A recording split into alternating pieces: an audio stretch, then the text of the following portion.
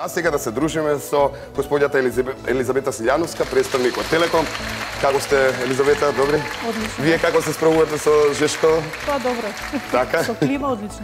Така. Ќе зборуваме за еден интересен надпревар кој што е во моментов актуелен, се вика Business Wall of Fame. Ајде малку за каков надпревар се работи. Така.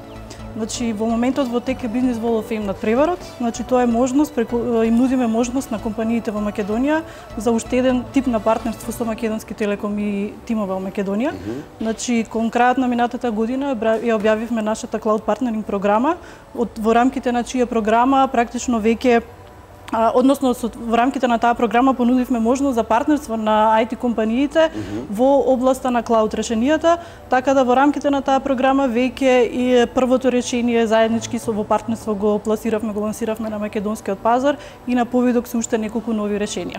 Така да сега веќе со бизнис во фейм над преварот нудиме нова можност, им нудиме можност со работка на оние компании кои што во своето портфолио имаат интернет на нештата решенија, односно M2M решенија. Накратко да кажам во однос на, на што подразбира тоа така, да интернет да на нештата, така да појасниме, а, интернет на нештата е на некој начин еден глобален тренд кој што станува се поголем дел од нашето секојдневие, од нашето обкружување, од нашето работење се она што што не обкружува околу нас сите предмети, да речам, сите уреди и така натака, се потенцијално нешта кои што преку интернет поврзување овозможуваат прибирање на некакви информации, размена тие информации со други уреди и на тој начин можност да се овозможи некаква автоматизација, унапредување на процесите на работењето во, во рамките на одредени компании, на самите компании, понатака на самото живење, унапредување на, на живењето во домот, пошироко во обкружувањето во градот и така натака. Така да накратко, значи се работи за надпревар во, во областа на имто им решенија кои што треба да вклучуваат хардвер, софтвер и интернет поврзување. И само да споменеме, овој надпревар не е само во Македонија. Така, така е. Така. Телеком го спроведува така. во седум земји во 8 земји скупно, значи станува збор за еден меѓународен надпревар во кој што покрева Македонија надпреварот се организира уште во 7 други земји. Станува збор значи за Австрија, за Германија, за Грција, mm -hmm. за Словачка, Унгарија, Романија и Хрватска. Така. Значи исклучително еден голем надпревар со пошироки размери и размери и сите оние учесници кои што се дел од овој надпревар има можност да се пријават покрај на локалните надпревари во сите овие земји и на интернационален надпревар што подразбира паралелно учество во сите надпревари во сите овие земји. А, овој надпревар е добитен, значи она што ние сметаме што е многу битно, нели маркетинг кампањите, промоцијата за еден развој, за потик на развојот на на одредени решенија и на самите компании, заради тоа и наградата на овој надпревар е маркетинг кампања вредна од, во вредност од 30.000 евра и партнерство со Македонски телеком. Значи ова е во однос на локалниот надпревар. Меѓутоа, покрај тоа, што сакам да напоменам, дека не само а, наградата како таква, туку а, еден битен факт кој што е релевантен за сите учесници, за затоа што преку учеството во овој надпрва сите учесници имаат можност за промоција во едни големи пошироки рамки во сите овие европски држави, да. што ги споменав и пошироко.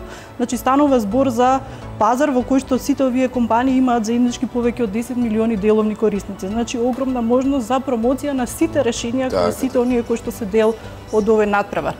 И а, во однос на тоа, би сакала исто да напоменам, ние како Македонски телеком и T-Mobile гледаме голем креативен потенцијал во Македонија и а, Впрочем, една од причините за вклучување во овој беше да дадеме уште една можност на сите компании во Македонија, на IT секторот, да, да се промовираат во едни вакви пошироки рамки, каде што нели подоцна и со реализација и имплементација продажба на такви решенија во Македонија и надвор во другите држави би допринале до во однос на развојот на IT секторот во Македонија. Така, кога сме ке надпреварот, само да споменеме, така? сега е во тек гласањето, така пријавувањето така. помина. Така, на надпреварот започна на 20 април, фазата на регистрација заврши на 1 јуни, uh -huh. сега во во тек е фазата на гласање. Така. И затоа би сакала да искористам нели оваа емисија да ги повикам сите оние компании кои што досега не се вклучиле во гласањето на овој бизнис Wall of Fame надпревар, да ја посетат интернет страницата на бизнис Wall of Fame, uh -huh. која што е www.wallofbusiness.com gmail.com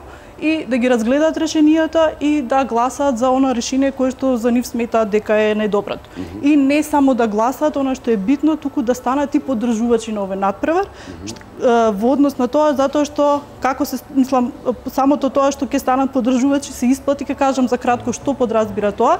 Инаку само станувањето на поддржувач самата постапка е многу едноставна, се пополнува еден формулар за регистрација и а, а, самите компании треба да достават, значи да да ги наведат причините зошто гласа за даденото решение и како тие гледаат дека тоа решение ќе допринесе во унапредувањето на нивниот бизнис. Кога споменав дека се, значи, на некој начин и станување на поддржува значи и можности за наградување, mm -hmm. значи покрај за самите учесници, на тој начин што стануваат поддржувачи оние компании што ќе станат поддржувачи на во рамките на овој надпревар, доколку нивниот избор на решение стане победник во во рамките на овој надпревар, тогаш и они стануваат потенцијални добитници на една маркетинг кампања за нивната компанија која што во вредност од 20.000 евра. Така да и затоа е многу битно при изборот ќе се има ќе се земе во предвид, нели, што е она што го навеле како причина колку тоа образложено, издржано и така натака, mm -hmm. затоа да не се штедат во објаснувањето и давањето на образложение. Да посветат малку време повеќе, така, така да не биде тоа на брзина гласање. Е, кога ќе го знаеме победникот?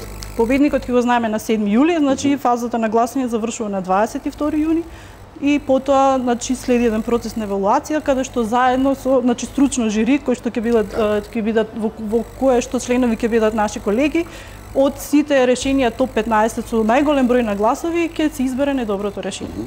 И за крај ајде да потенцираме сума сумарум. Так. Значи За крај, она што сакам да го напоменам, дека Македонски Телеком и Тимобел, како технолошки лидери во Македонија, ќе продолжат да нудат вакви можности за, за IT компаниите во Македонија и не само за нив, туку и за сите сегменти и сектори во рамките на телеком индустријата. И со оглед дека фазата на гласање завршува веќе за уште 8 дена, нели, 22 се ближи, останува уште многу малку време. Уште еднаш ги повикувам сите да активно се вклучат во гласањето и не само во гласањето, туку и да ги поддржат решенијата затоа што на тој начин тие стануваат видливи за практично за целокупната она јавност што ја споменав во сите овие земји каде што се одржува над преварот и не само тие компании, значи учесниците кои што учествуваат туку и самите гласачи, поддржувачи на овој начин стануваат како компании видливи да. во во овие пошироки европски рамки. Затоа, значи очигледно дека придобивките за сите се големи да активно да, да се вклучат. Да, уште, така, уште денес. Уште денеска. Господи Елизабета, ви благодарам за одвоеното време и посекувам убав остаток од денот. Благодарам. Само да споменам кога сме кај Телеком, дека денеска официјално и собственичката на Порше Кајман имаме во нашата емисија, за многу кратко ќе ја видиме и официјално ќе ги дадеме клучевите. И а, само да споменам во продолжение, а, вие кои што имате викендички, кои што а, летово планирате да шетате лево десно, ви треба интернет и телевизија, еве ви уште една можност како тоа можете да се приклучите, а веднаш потоа разговарам со Стара Мейс.